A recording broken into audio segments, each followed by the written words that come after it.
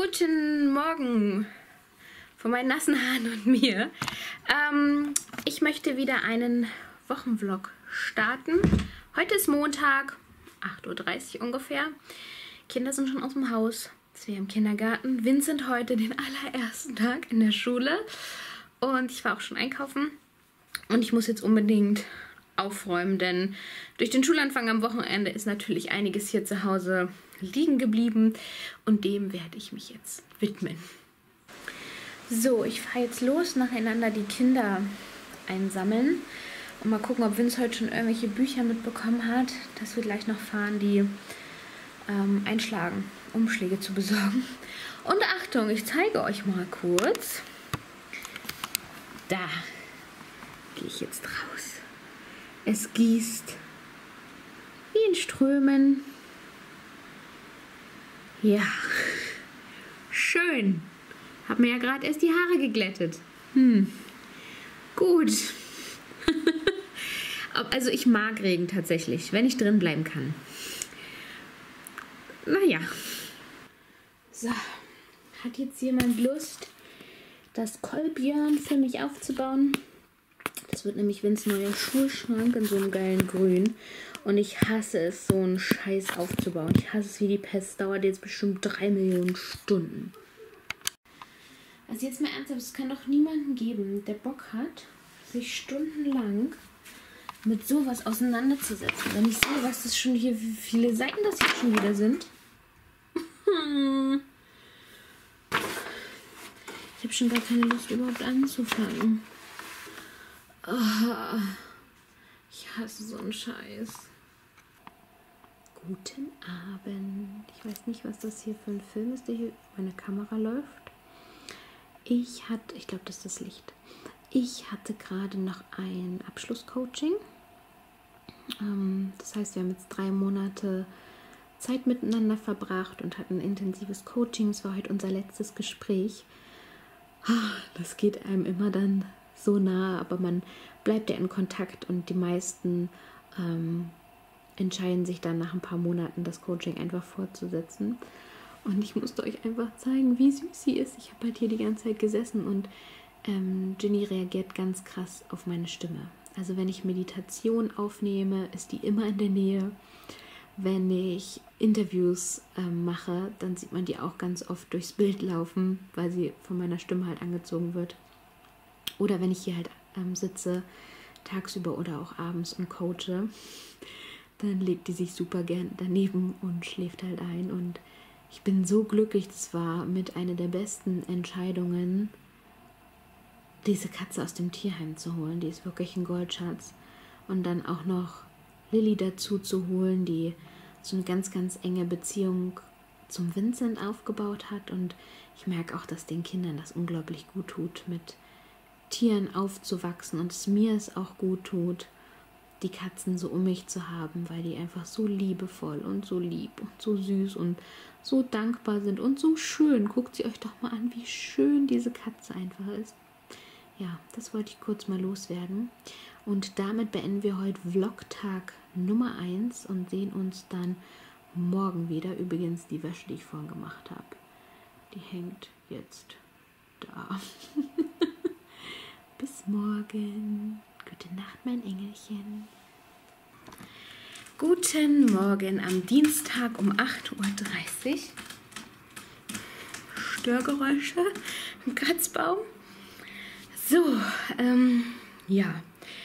Der erste Schultag war mega viel Input. Also ich meine, wenn ich das als Mutter schon sage, dass das sehr viel Information waren und viel, was du bedenken und organisieren musst, will ich, ich will gar nicht wissen, und kann es auch gar nicht erahnen, was das dann tatsächlich für die Kinder bedeutet. Nun ja, heute ist Schultag Nummer zwei. Ja, Stimmung könnte besser sein, aber es könnte auch schlimmer sein. Von daher kriegen wir das schon hin. Ähm, ich werde jetzt anderthalb Stunden hier zu Hause was arbeiten und dann bin ich zum Frühstück verabredet in großer Runde. Freue ich mich schon sehr drauf. Heute regnet es auch nicht mehr. Gestern hat er wirklich permanent geregnet. Ich habe auch nur 20 Minuten auf Vince vor der Schule warten müssen, was nicht an ihm lag. in strömendem Regen. Ich war glitschnass. War schön. Nun ja, jetzt habe ich einen Schirm im Auto. Für den Fall der Fälle. Ich habe gerade Wetterbericht im Auto gehört. Es soll äh, bei uns nochmal richtig, richtig schön warm werden am Freitag. Also so sommerlich warm. Gut. Ich starte jetzt, denn heute startet meine Meditations-Challenge über meinen WhatsApp Coaching Impulse Verteiler. Ist auch ein langes Wort. Da freue ich mich jetzt sehr drauf, da den ersten Meditationstipp und die erste Meditation teilen zu können. Ihr könnt ja kurz mal den Vlog pausieren und mal in die Kommentare schreiben, wer dabei ist und wer die vier Tage lang meine Nachrichten erhalten hat und wie es euch so gefallen hat. Und wir sehen uns dann wieder. So, bin jetzt schon wieder vom Frühstück zurück und mir fiel gerade ein, dass ich heute eigentlich vlogge und vielleicht auch da ab und zu mal die Kamera in die Hand nehmen sollte, denn ich bin jetzt schon wieder auf dem Sprung Vince abzuholen. Und ich habe gerade äh, in diesem Buch hier gelesen, Du bist eine Heldin, das Mitmachbuch für Mamas. Und das ist in Monate eingeteilt. Und weil ja heute der 1. September ist, habe ich, so wie jeden ersten des Monats, gerade das Kapitel ähm, des Monats gelesen. Und das war wieder sehr, sehr, sehr, sehr schön. Und jetzt mache ich mich, mich los, ihn abholen. Dann haben wir hier zu Hause zusammen noch so eine Dreiviertelstunde vielleicht ungefähr, dass er mir erzählen kann, wie es heute so war und wir noch ein bisschen Zeit zu zweit haben, bevor wir dann das kleine Kind abholen und zum Geburtstag fahren. Ich lese übrigens gerade parallel drei Bücher. ich glaube, das habe ich auch noch nicht gemacht. Und zwar lese ich hier ähm, von Pam Crowd, Sei dankbar und werde reich. Jetzt nicht im, Rei im Reich im Sinne von ich werde Millionär, sondern im Sinne von Fülle, Lebensfreude, wie sie Erfolg und Fülle magisch anziehen. Und ähm, das ist so mit kleinen Übungen gespickt und deswegen lese ich da täglich maximal so eins, zwei Kapitel von. Deswegen habe ich dann angefangen, ein zweites Ratgeberbuch zu lesen und zwar von Tietjen Onaran. Nur wer sichtbar ist, findet auch statt. Werde deine eigene Marke und hol dir den Erfolg, den du verdienst. Ich mag sie sehr gerne, ähm, findet ihr auch auf Instagram und ich bin schon sehr gespannt. Hier bin ich allerdings ähm, noch gar nicht weit gekommen, weil ich halt das auch noch lese. Und äh, ich lese ja immer parallel quasi was Ratgebermäßiges und ähm, was aus dem Bereich, Bereich Belletristik, Unterhaltungsliteratur. Und da lese ich gerade Midnight Sun, also Twilight aus der Sicht von Edward. Und die ersten Tage, also ich habe das Anfang des Urlaubs, kam das Buch raus, da hatte ich das dann direkt. Da habe ich die ersten zwei Wochen permanent jeden Abend drin gelesen und dann ebbte es so langsam ab. Jetzt habe ich irgendwie seit zwei Wochen immer mal so sporadisch mal irgendwo zehn Seiten gelesen, ähm, weil es gerade langweilig wurde. Aber ich will es auf jeden Fall noch zu Ende lesen, weil eine Freundin von mir hat sich auch schon darauf angemeldet. Und ich kann es auf jeden Fall empfehlen. Es ist wirklich sehr schön. Hallo, guten Morgen am Mittwoch um 9 Uhr. Ich habe schon ähm, 17 Minuten heute Morgen mit dem Kundenservice von Amazon telefoniert. Ich hasse Gespräche mit Kundenservices, weil es einfach ewig dauert, weil man von Warteschleife zu Warteschleife gelangt. Aber es hat mir tatsächlich viel gebracht, weil wir jetzt endlich ein Problem, was ich mit meinem Konto hatte, ähm, lösen konnten, weil es halt einen Fremdzugriff auf mein Amazon-Konto gab. Ähm, mir steht noch ein Gespräch mit dem Kundenservice meiner anderen Brille an. Ihr erinnert euch diese rosane Brille, die ich eigentlich, die eigentlich gerade meine aktuelle Brille ist, mit auch meiner richtigen Stärke, kann ich seit Monaten mittlerweile nicht tragen, weil eins von diesen Nasenplättchen abgegangen ist. Und der Kundenservice von Mr. Specs einfach hundsmiserabel ist und man dort per E-Mail niemanden erreicht. Es wird aber gebeten, das erstmal per E-Mail zu machen, weil Corona und da sind nicht so viele telefonisch erreichbar. Aber jetzt habe ich echt die Nase voll und jetzt muss ich da tatsächlich anrufen, weil ich diese Brille einfach nicht tragen kann, weil die das nicht geschissen kriegen, auf, Entschuldigung, auf meine E-Mails zu antworten. Ich glaube, ich habe da jetzt schon vier oder fünf E-Mails hingeschickt und bekomme einfach keine Antworten darauf. Und deswegen ist das der nächste Kundenservice, mit dem ich mich dann auseinandersetzen muss. Aber ich habe immer Glück, ich gerate wirklich immer an sehr verständnisvolle, liebe Menschen am anderen Ende der Leitung. Da bin ich immer sehr glücklich darüber. Warum ich solche Telefonate immer vor mir rausschiebe, ist, weil die halt echt so lange dauern und Nerven kosten. So, ähm, ich drehe jetzt mal Flix zwei Videos, die dann nächste Woche nach diesem Vlog hier online kommen. Und ähm, dann kümmere ich mich mal um die Fotos vom Schulanfang. So, übrigens dürft ihr sehr gerne an dieser Stelle einmal ähm, den Vlog pausieren und mir in die Kommentare schreiben, falls ihr irgendwelche Videowünsche habt. Ob ihr den Wunsch nach einem QA habt, ob ihr ein bestimmtes Thema, eine bestimmte Frage habt, zu dem ich mal ein Video drehen soll. Ähm, das Video mit den Entspannungstipps für Kinder, das habe ich immer noch auf dem Schirm, aber das wird es dann erst im Oktober geben. Aber fühlt euch frei, einfach mal gerade jetzt in die Kommentare zu schreiben, falls ihr euch ein bestimmtes Video oder ein Video zu einem bestimmten Thema wünscht. Ich mache hier gerade wieder so extrem ungesunde Sachen die man nicht machen sollte. Ich esse mein Mittagessen, meinen Salat, habe schon meinen Chor wach stehen und arbeite nebenbei. Das ist jetzt kein gutes Vorbild. Man sollte nicht essen und nebenbei was machen. Aber ja, besondere Zeiten erfordern besondere Maßnahmen. Ich sitze hier nämlich gerade und bastel bei meinem Online-Kursanbieter EloPage die ganzen Inhalte in die einzelnen Module. Kann ich ja mal zeigen. Ich weiß noch gar nicht, ob ich das schon mal gemacht hatte. Hier das Inhaltsverzeichnis. Mhm. Genau. Das sind die verschiedenen Module, die es geben wird. Ähm, das erste heißt, ich habe mein Glück selbst in der Hand. Dann kommt, ich weiß, wie es geht. Ich nehme mir Zeit für mich. Ich bin mir wichtig. Ich schätze, liebe und respektiere mich. Ich sehe all die guten Dinge in meinem Leben. Siebtes Kapitel heißt, ich bin Ruhe und Gelassenheit. Achtes Modul, ich kann mich jederzeit gut um mich kümmern. Modul 9, ich lasse los, was mich zurückhält. Ähm, da geht es halt eben um das Thema Loslassen, Verzeihen. Modul 10 ähm, ist das Modul Ich lebe im Einklang und Modul 11 Ich bin so stolz auf mich.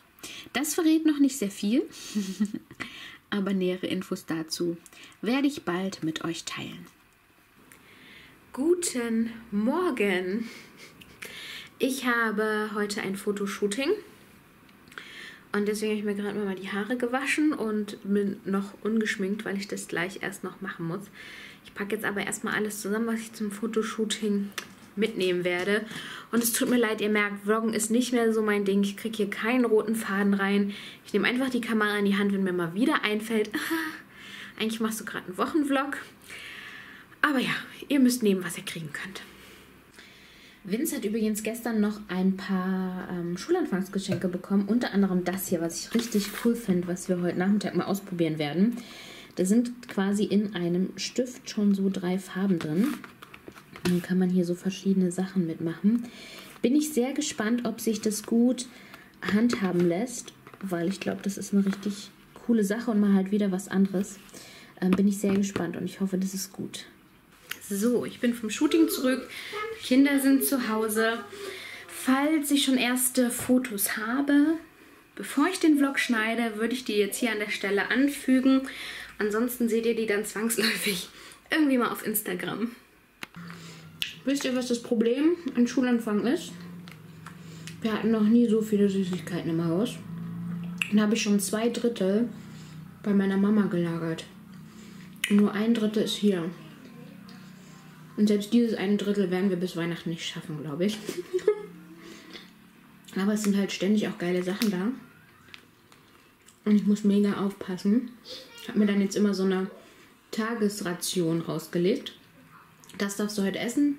Drüber gehst du nicht. Und es klappt tatsächlich sehr gut. Meistens habe ich davon sogar noch was übrig. Kennt ihr das? Wenn ihr es da liegen habt, esst ihr es dann gar nicht. Ja. Und die hier liebe ich sehr. Aber ich esse auch schon fast eine Woche an der Tüte mit den Kindern zusammen. Finde, das das ist ganz gut, glaube ich. Guten Morgen am Freitag um 9.30 Uhr. Ähm, musste gerade mal gucken, ob es jetzt aufgehört hat zu regnen. Ich war schon einkaufen. Jetzt habe ich gerade so ein paar Sachen aufgeräumt. Ich werde jetzt gleich frühstücken und dann habe ich Coachings und dann geht es zum Sport. So sieht mein Vormittagsplan aus. Und nach dem Sport, ähm, wenn ich dann duschen war hole ich dann beide Kinder ab. Und dann können wir so um 13 Uhr unser Wochenende einleiten, auf was wir alle, glaube ich, mega Bock haben und uns freuen. Ja. Guten Morgen am schon wieder Samstag. Weil ich es einfach nicht hinbekomme, beständig zu vloggen, ist heute schon Samstagmorgen, 8 Uhr. Na? Es geschehen übrigens noch Zeichen und Wunder. Ich war es nicht. Aber jemand war so lieb und hat mir den Schrank aufgebaut. Ähm, wir müssen allerdings noch das Ganze in Waage bringen. Dann wird es auch mit den Türen funktionieren. Das machen wir später noch. Und ich finde die Farbe richtig, richtig cool. Und hier in dem Heft, es war übrigens richtig kacke aufzubauen, Ikea. Hier in dem Heft sieht man, ähm,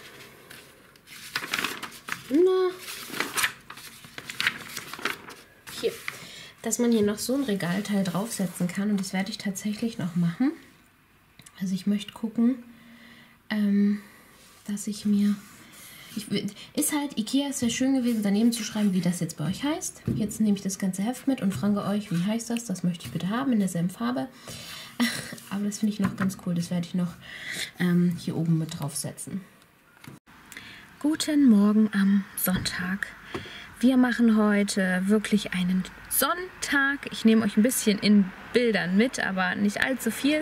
Wir sind jetzt gerade ähm, angekommen am Wildgehege. Da gehen wir jetzt erstmal eine Runde spazieren. Es ist so tolles Wetter, so toll.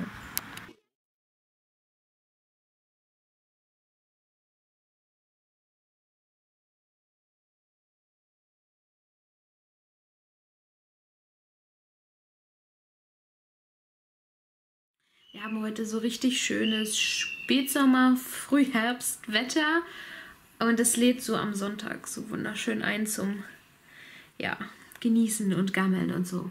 Ich werde jetzt zwei Videos schneiden für nächste Woche und den Vlog jetzt auch schon ähm, hochladen, habe ich mir überlegt.